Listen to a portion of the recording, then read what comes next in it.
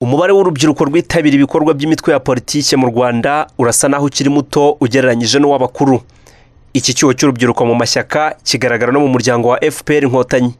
Kuri iki cyumweru mu murenge wa rwezamenyo ho mu karere ka nyarugenge ubwo kongere y'umuryango wa fpr inkotanyi yateranaga iki kibazo ni kimwe mu byagarutsweho.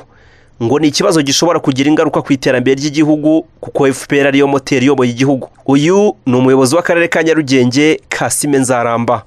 Ibyo byo bigomba kugira ingaruka ku muryango cyane ko nk'uko nababwiye niba bo bafite mirongo irindwi ku ijana. Murumva ko ikindi cyiciro ni mirongo itatu ku ijana. Biradusaba rero kugira ngo rwose bahaguruke bakore kuko nibadakora biraza kugira ingaruka ku muryango ariko noneho bigire n'ingaruka ku iterambere muri rusange.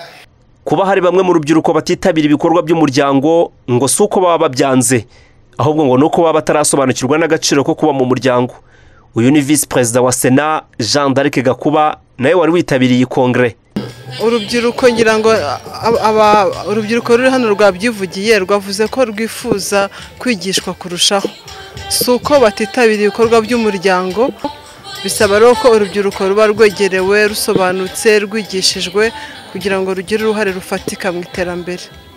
Ibivugwa na visi perezida wa sena birashimangirwa na bamwe mu rubyiruko rwabashije kumva agaciro ko kuba mu muryango. Kuri bo ngo habayeho gusobanurirwa byimbitse ibirebana n'umuryango ngo nta kabuza umubare w'urubyiruko wakwiyongera.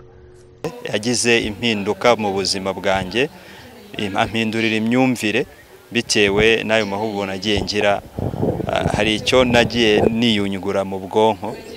Ubuyobozi bwashyizemo ingufu urubyiruko twakoze mobilizasiyo ishoboka urubyiruko rwitabiriye ahubwo icyagakozwe ni ukongera imbaraga kugira ngo wenda ubutaha ababyeyi bazabura ahantu bicara urubyiruko rwo ruhicaye gusa. Ariko igihande cyose wabonye ko hose n'urubyiruko ikindi gihande n'icy'ababyeyi uko byabaye rwose ndabishimira ko imbaraga zabaye nyinshi kurusha uko byahoze mbere.